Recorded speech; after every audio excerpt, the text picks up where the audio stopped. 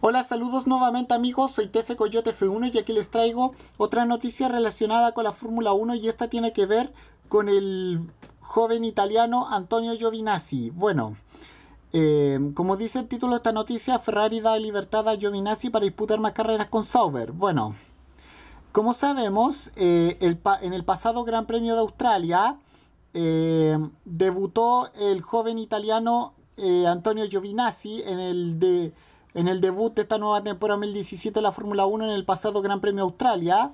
Eh, es la primera vez que un italiano debuta la Fórmula 1 desde Jarno Trulli en 2011. Eh, más bien sí, desde de, Trulli y eh, Vitantonio Luisi en ese mismo Gran Premio, el Gran Premio Brasil de 2011.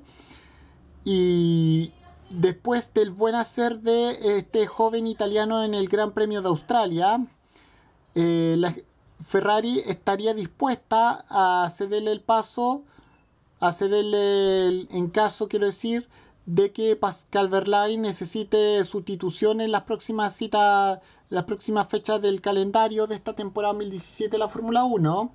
Recordemos que eh, Pascal Verlaine no está en, en Sauber por el motivo de que por el motivo de que tuvo una lesión que sufrió en la pasada edición de la Race of Champions. Y bueno, no sé si Giovinazzi va a volver a correr eh, con Sauber para el Gran Premio China, que será el próximo fin de semana. Y